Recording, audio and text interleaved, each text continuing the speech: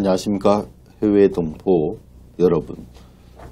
어, 4.15 총선 부정선거 밝히는데 도움을 주십시오. 안녕하십니까 안동데일리 시청자 여러분 반갑습니다. 특히 이 시간에 해외에 계신 동포 여러분께 인사드립니다. 외국에 살면 더 한국이 생각난다고 하는데 여러분들도 대한민국에 대한민국이 어찌 될까 하고 걱정하시고 계신 줄로 알고 있습니다. 정말 대한민국은 백적간두의 풍전등화의 상황에 처해 있습니다. 설상가상으로 어려움은 더해가고 있는 가운데 국내에는 정의로운 사람들이 부정선거 세력들과 맞짱을 뜨고 있습니다. 해외 동포 여러분들도 유튜브를 통해서 실시간으로 어, 확인하고 계시리라 생각을 합니다. 다름이 아니라 어, 방송을 보시는 해외 동포 여러분들께 간청을 하나 해 드리겠습니다. 여러분, 여러분들 살고 있는 나라의 가까운 동네 선거관리위원회를 방문해서 한국의 부정선거 어, 사례를 말하고 사실관계를 확인해 주십시오. 어, 지난해 이루어진 한국의 사회로 총선에서는 중앙선거관리위원회 상층부에서 컴퓨터를 이용한 조작과 정보 유출, 비밀투표 침해까지 했다는 의혹을 강하게 받고 있습니다. 게다가 대법원의 대법관들조차 법을 무시하고 국민을 우롱하고 있습니다. 이것은 세계의 어, 자유민주국가에 대한 명백한 도전입니다. 그런데도 주류, 주류 언론마저도 이러한 부정선거에 대한 침묵을 하고 있는 참담한 실정입니다. 어, 그, 많은 사람들이 예, 우리의 주권이 상실되었는데도 강 건너 불구경하듯이 어, 낙심은 커져만 가고 있습니다. 그러나 대한민국은 5천여 년의 유구한 역사를 자랑하고 있고 항상 난세의 영웅이 나왔고 지금까지도 이 나라는 유지가 되고 있습니다. 4.15 총선 부정선거는 이 시대를 살아가는 우리들에게 우리 국민들에게 크나큰 충격을 주고 있습니다. 이 시대의 어두운 단면 그것을 그대로 적나라하게 보여주고 있는 대표적인 사례입니다. 어, 그리고 다행히도 우리나라의 이 지극한 이 어두움을 밝히고 있는 많은 국민들이 있고 또 소수의 의로운 분들이 있습니다. 그분들은 보이지 않는 곳에서 이 나라를 위해서 이 나라를 수호하기 위해서 노력을 다하고 있습니다. 그래서 해외 동포 여러분들도 어, 해외에서 이 그 대한민국을 많이 예, 사랑해 주시고 어, 정말 행동에 옮겨 주시기를 바랍니다. 이 대한민국은 지금 어, 공적인 인재, 인재가 부족합니다. 예, 말을 하자면 이 사적으로 어, 사적인 그런 그 도움은 갈구하나 공적인 일 이런 특히 이 부정선거와 관련된 부정 어, 에 대한 한 거는 지금 여러분들이 아, 시다시피 매우 그 부족한 실정입니다. 그렇지만 지금 그 블랙 시위를 통해서 그리고 민경욱 의원 그리고 황교안 어, 지금 전 총리 그리고 여러분들께서 지금 이 부정선거의 의혹이 확시, 확신으로 지금 나오고 있는 가운데 있습니다. 지금 대한민국은 내년 상구 대선이 있습니다. 이제 석 달 조금 넘게 남아 있습니다. 내년 선거도 매우 어, 위태롭습니다. 그리고 부정선거 전에 하는 것이 바로 여론조사입니다. 여론 조작을 하는 거죠. 그렇게 해서 국민들에게 세뇌를 시키는 그런 일들을 하고 있습니다. 여러분, 해외 동포 여러분, 우리 대한민국을 위해 에, 가까운 선거관리위원회에 가셔서 어, 물어보시고 한국의 실정을 말해 주십시오. 지난 6.25 전쟁에서도 우리 국군이 승리할 수 있었던 것은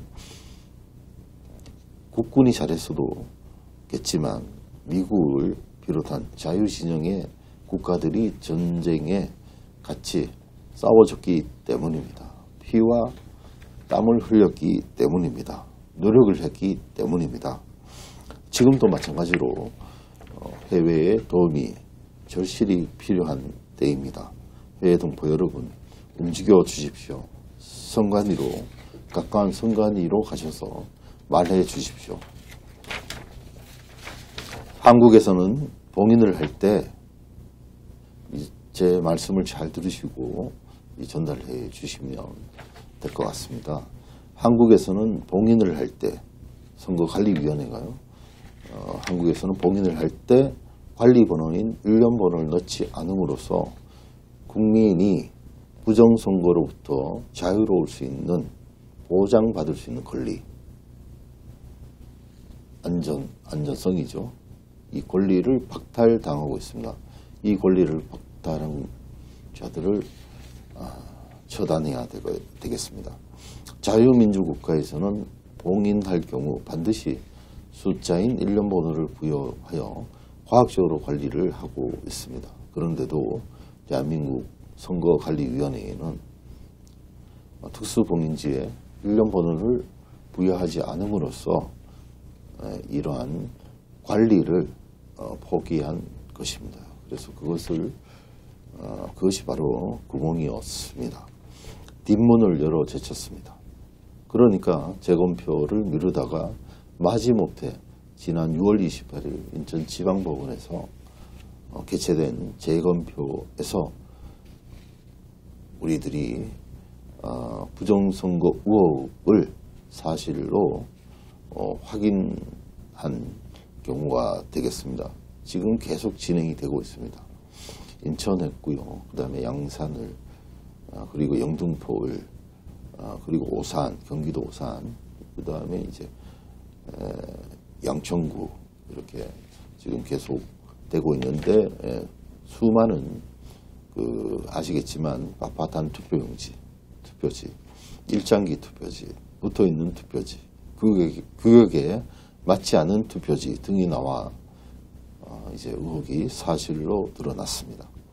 해외에 계신 동포 여러분, 제발 가까운 지역구 어, 선거관리위원회에 가셔서 한국에서는 선거에서 봉인할 때 1년 보던을 붙이지 않고 어, 선거를 관리하고 있다. 이런 말씀을 하시면 어, 그 선거관리위원회에서 아마 어, 이해를 못할 것입니다. 그리고 해외에 있는 그 전문가들이 한국의 이 부정선거에 대해서 어, 뭐 학술이 됐던 아니면은 그 정말 그 부정선거가 있었는지 있었는지 없었는지를 확인할 수 있는 그런 그 기회가 반드시 어, 있어야 될 것 같습니다. 그래서 어, 혹시나 필요한 더 필요한 자료가 있으면 안동 데일리 인터넷 신문을 참조해 주시고 그리고 유튜브도 제가 지금까지 방송한 유튜브들도 참고하시고 그래도 궁금한 것이 있으면 안동 데일리 홈페이지에서 뉴스 제보 이메일이 있습니다. 안동 데일리 골뱅이 안동 데일리 닷컴입니다. 어, 이리로 어, 제보하거나 문의를 해주시면 어, 제가 성실히 예, 답변해 드리겠습니다. 여러분, 우리의 국가안보, 그리고 선거안보, 사이버안보, 어, 대단히 위험합니다. 해외동, 특히 해외동포 여러분들께서 어, 가까운, 특히 그 자유민주 국가에 사시는, 뭐 예를 들면 독일, 영국, 프랑스, 그리고 미국, 음, 그리고 뭐 브라질도 그렇고요. 아르헨티나, 어, 스위스, 어, 그 다음에 또 뭐 어디가 있을까요? 헝가리 뭐 이런 데도 마찬가지입니다. 어, 스페인, 이탈리아 뭐 이런 마찬가지예요. 전부 어, 복인할 때 일련 번호가 지- 들어가지 않는 그런 그 선거 관리를 한다고 하면 아마 선관위에서 놀랄 것입니다. 그리고 대한민국의 이 사회로 총선 부정선거는 역사적으로 가장 그 큰 대형 사기 사건이고 사기극이었습니다. 여러분들 움직여 주십시오. 한국의 선거 전문가들이 방문해서 어, 이 한국의 부정선거 어떻게 이루어졌는지를 어, 어, 파악할 수 있도록 여러분들께서 도와주십시오. 예, 감사합니다. 지금까지 어, 안동데일리 조충열 기자였습니다. 오늘은 2021년 11월 14일 오전이었습니다. 예, 감사합니다.